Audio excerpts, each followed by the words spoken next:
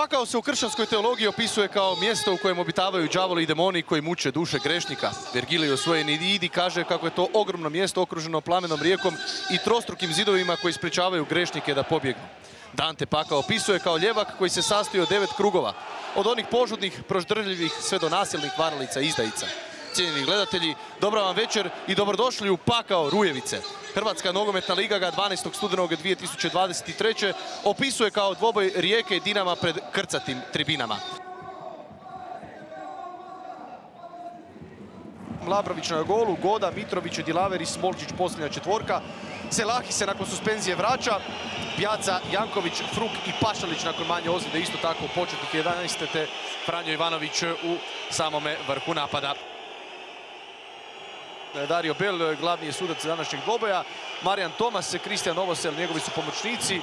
Domagoj Kurtović je četvrti sudac, a Marin Vidolin te Kruno Šarić nalaze se u VAR sobi. Na golu ostaje Zagorac, Moharami, Ristovski, Teofil i Perković drže posljednju liniju. Mišić i Ademi, vezni red, Kaneko Baturina, Špikić je trojka na krilnim pozicijama, odnosno na poziciji polu špice, te Sandra Kulenović danas starta u vrhu napada za momčad iz Zagreba.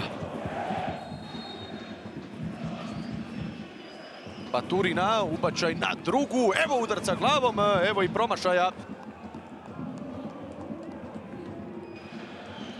Ristovski, Baturina, pokušava se okrenuti Baturina, dao za Mišića, Mišić proslijedio do Špikića koji ima Smolčića ispred sebe, ide na udarac. Špikić, to je išlo prema desnoj vratnici, ali isto tako završilo je mirno u rukama Nediljka Labrovića. Evo pogreške, evo šanse za Kulenovića. Kulenović tuče izvana, brani Labrović, još uvijek nije gotovo. Špikić ponovno išao na plasirani udarac, iako je imao Mišića lijevo od sebe. Brzo izvedeno, Kareković na ulasku u 16-terac.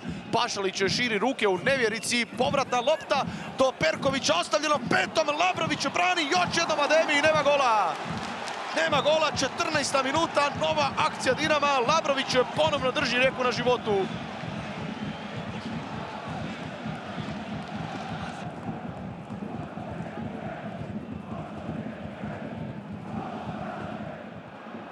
Pjaca. Čeka Pašalić loptu. Evo mu je. Pjaca, odnosno Pašalić protiv Perkovića. Pašalić puca, to ide u Zagorca, a ovo ide ujedno i u naš sažetak, 20. minuta.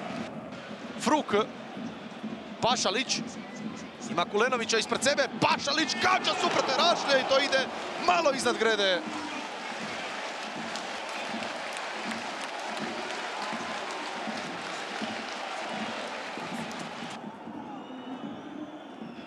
Špikića, ulazi Špikić u prazan prostor, Špikić 1 na 1, povratna lopta, Špikić za 1-0.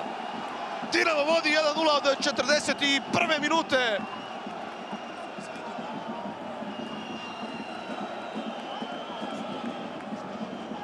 Izodbijala se lopta na nekoliko načina, u nekoliko navrata, točno na kraju na nogu Darija Špikića koji zabija za vodstvo Dinama. Tamo negdje pred sam kraj prvog dijela, pet minuta prije kraja prvog poluvremena. Smatraju igrači Rijeke da je tamo bilo zaleđe. Okružili su sada suca Darija Bela.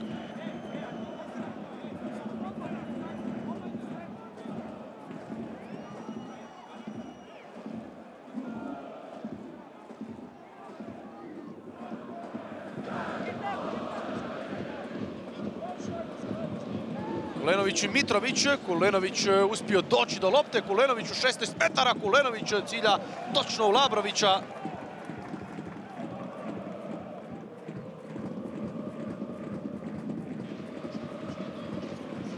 Pašalić se sada spustio ovdje praktički na poziciju beka. Evo lopte u noge Fruku, Fruk se okrenuo, Fruk i dalje. Fruk, povratna lopta, brani Zagorac, još uvijek nije gotovo i to odlazi pokre vrata. 49. minuta, najveća prilika Rijeke u dosadašnjem tijeku utakmice. U nekoliko navrata Rijeka je bila spremna zabiti gol, ali čini se ne do kraja. Krasna povratna lopta, Janković je pucao, Zagorac uspješno odbacio i onda na kraju tamo čini mi se pijaca glavom i nije uspio Ivanović na drugoj vratnici to zatvoriti. Ostaje 0-1 na Rujevici.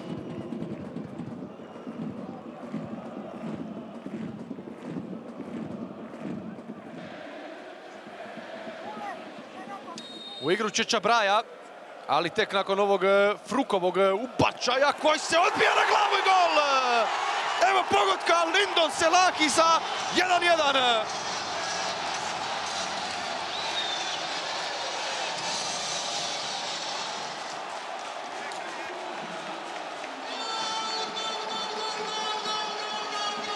Lindon Selahi zabija pogodak za izjednačenje.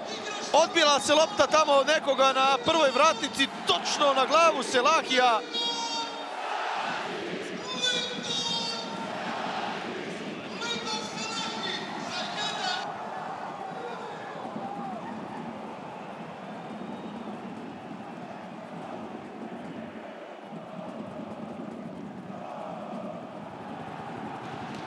Centar šut e, ponovno na prvu, skače Mišić. Ja, onda jedan udarac izvana zamalo od bloka Vara Zagorca. Traži sada Kaneka, dijagonala, Baturin je kao Čabraja glavom. Janković. Evo lopte u prostor za Pjacu, Pjaca pogađa točno u Zagorca.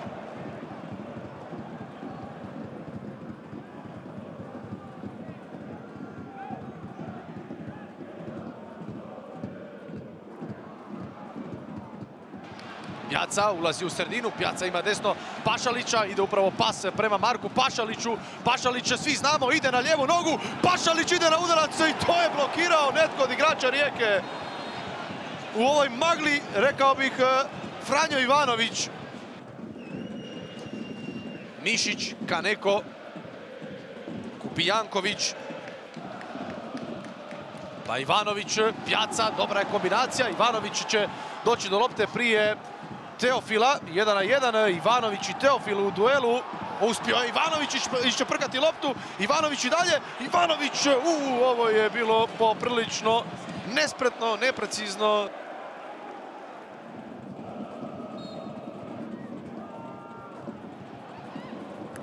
Evo novog udarca, opet brani Zagorac.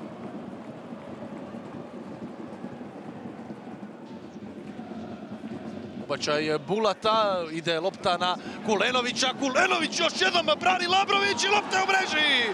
Lopta je u mreži, Dino Perić će zaviti za 2-1. 81. minuta.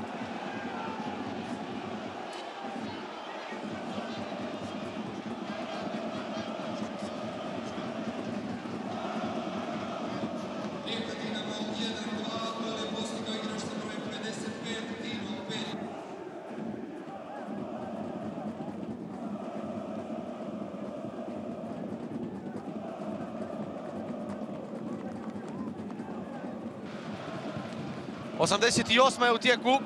Pjaca. Samo proslijedio dalje. Čabraja ubacuje na prvu gol! Evo gola od Grede za novo iziračenje Rijeke.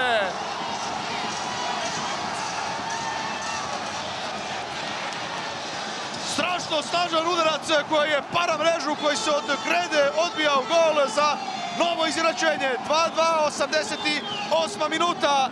Jeli Mitrović Čini se da je.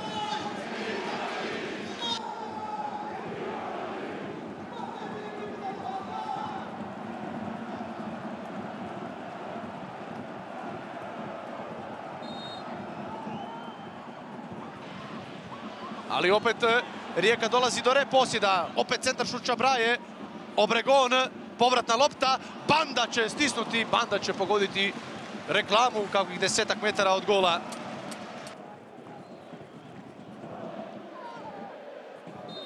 Prekršaj u napadu i to bi čini se trebalo biti to. Čini se da će ipak Rijeka i Dinamo podijeliti bodove večeras na Rujevici. Hajduk 33 boda nakon 15 utakmica, Rijeka 28 bodova nakon 14 utakmica, Dinamo 24 boda nakon 13 odigranih dvoboja. Završilo je Rijeka Dinamo 2-2.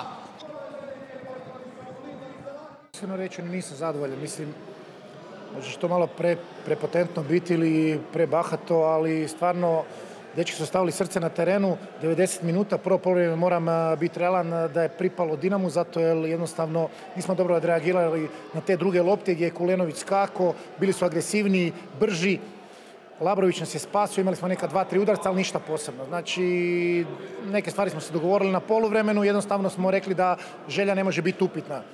Može Dinamo tu pobijediti 0-2, 0-3, ali jednostavno želja ne može biti na tom nivou. I drugo, poluvreme smo izašli jedna goropadna rijeka i mislim da je gol visio u zraku. I mislim da u, izjednačili smo u pravo vrijeme, imali još jednu, dvije šanse. I onda u najnezgodnije vrijeme je jednostavno Dinamo poentirao nakon prekida nakon nekog odbijaca, odnosno nakon dobre reakcije Perića. Poslije smo krenuli bak na sve ništa, ubacili smo još dva svježe igrača i jednostavno to nam se isplatilo. Svakome po bod i to je to. S obzirom na razvoj utakmice, dobro, jako smo dobro ušli u utakmicu, imali dvije jako lijepe šanse. Došli smo u Rijeku odigrati na Rujevicu jednu hrabru mušku utakmicu na elektriziranoj atmosferi. Ovaj, mislim da su momci stvarno dali sve od sebe, pošto smo prije dva dana igrali u Plzenu nakon frustrirajućeg poraza. E, nekako je sve išlo e, kako treba. Dali smo gol u pravom trenutku prije poluvremena. Dogovorili smo da izdržimo taj početni pritisak 15-20 minuta, međutim i oba dva gola smo primili nakon dekoncentracije koja se događa, da li je to uslijed umora, da li ili je Rijeka dobro izigrala. E, žao mi je samo što nismo uspjeli do kraja izdržati jer smo primili pred kraj ovaj, za 2-2. Sigurno bi nam to jako puno značilo s obzirom na okolnosti koje ste rekli, ali naravno da nisam zadovoljan s podom kad si vodio dva puta, ali jednostavno ovo sad je to naša realnost i moramo ići dalje.